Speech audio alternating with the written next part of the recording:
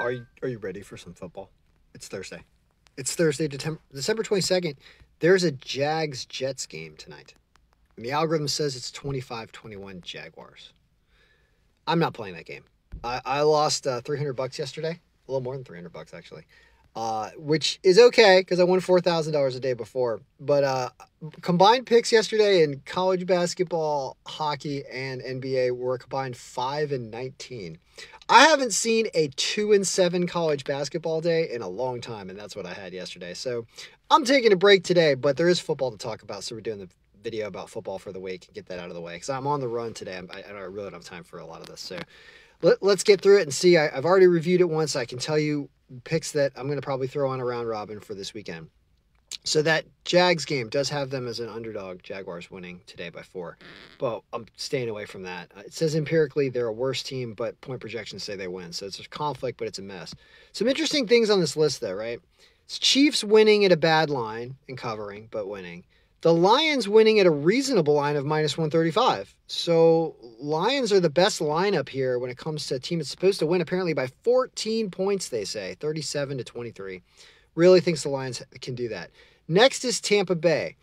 I'm not a fan of Tampa Bay, but algorithm apparently is here, and Arizona's not good. So it says Tampa Bay wins there. I'm staying away from that. But I will take the Lions as much as I bite my tongue on that. I'll take them.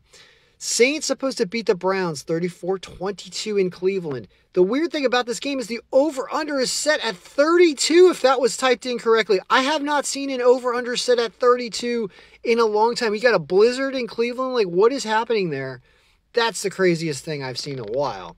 So, I mean, they can't get to 17 16, right? Like, seriously?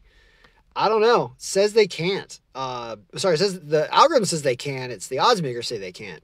So you've got New Orleans an underdog, New Orleans an underdog line of plus one thirty, and it's also saying over by a ton, right? By a ton, by twenty four points. So there's clearly a weather situation going on in Cleveland that's screwing that up.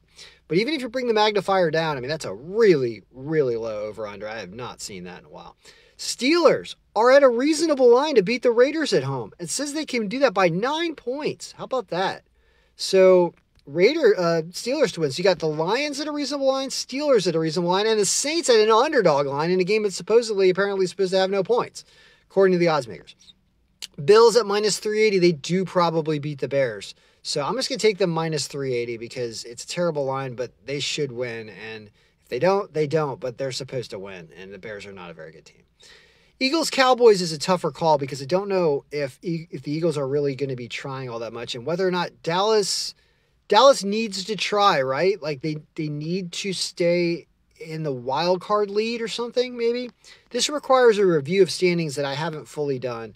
So I believe non-numerical factors or who is going to be fighting harder in this game is more coming into play and the odds makers I think agree with that because the odds makers are favoring Dallas. So they must need to win. But Philly plus five is not necessarily a bad idea because they're empirically a better team. And if these teams met in the playoffs, it would say that that Philly would win a higher scoring game. So tougher call there, but I, am on the edge. I'm on the. I, I think Philly plus five is round robinable because if it's a close one, the Dallas wins by a field goal, you still win with Philly plus five points. Says the Ravens over Atlanta by four, but the line is minus 330. So if you're going to take them, you're not going to get paid. And it does, says they don't cover. And taking Atlanta plus seven also seems difficult. So I'm going to lay away from that. That Jacksonville game is Thursday night. Don't care. Houston supposedly beats Tennessee by three. Boy, I mean, it's been overestimating Houston a lot, but sometimes they come back and they make it close.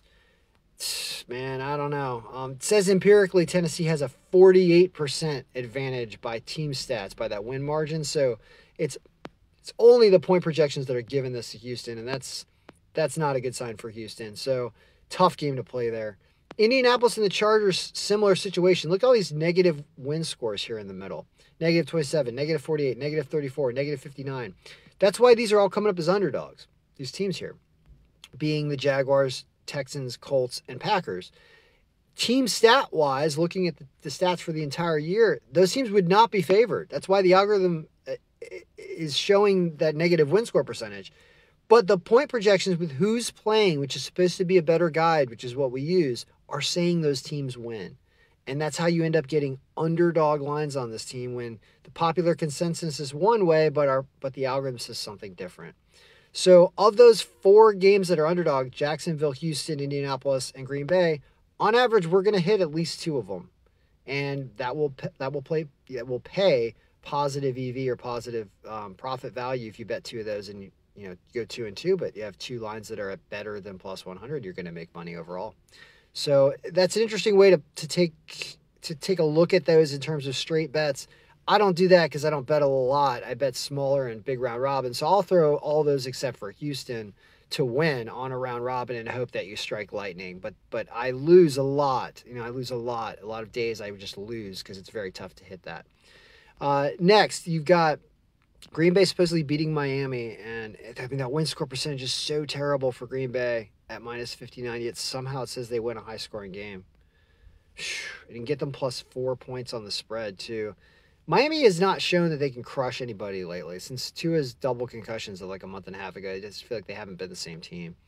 San Francisco only beats the Commanders by two, so Washington plus seven is what I'm going to go with, given all the new injuries on San Francisco. Even though they're a good team, Washington, I think, is still last gasping here for the season to try to do something.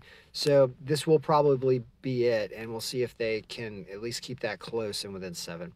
Minnesota supposedly beats the Giants, but the line's minus 200. It's kind of not great for all the way down there. It's only a two point game. Giants also might be fighting, but it looks actually, yeah, the Giants won the other night, so maybe they're going to be fighting harder. And um, I, am not I'm not a fan of Minnesota way down there at minus 200.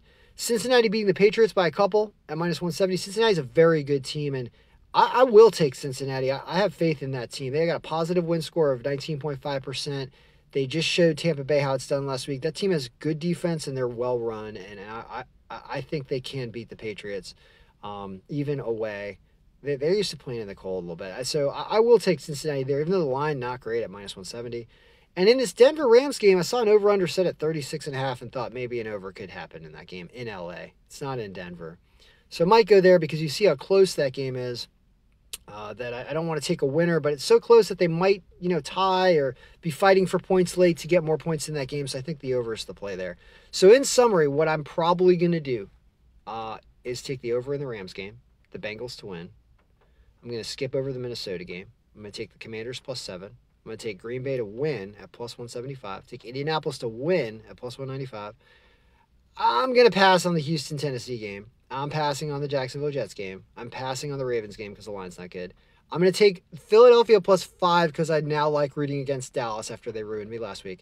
I'm going to take Buffalo to win because it's a round robin. I think they're going to win. I'm going to take the Steelers to win. I'm going to take the Saints to win maybe the over. I think I want to take this over 32. I want to see them stay under 32. If I lose to two teams that can't put up 32 points, then I lose. I'll double check the weather, but I think that's my bet there because the Saints are so tough to predict. And I just want to kind of be rooting for weird snow points. Skipping over the Tampa Bay game, and I'm taking Detroit to win, and I'm probably taking the Chiefs to win over the Seahawks. So there's a lot of picks in there. Those are my round robins. Good luck, everyone. Enjoy week 16. I don't think there's going to be another sports algorithm video today because I got other stuff going on. So good luck. Mel, your picks. Be winning.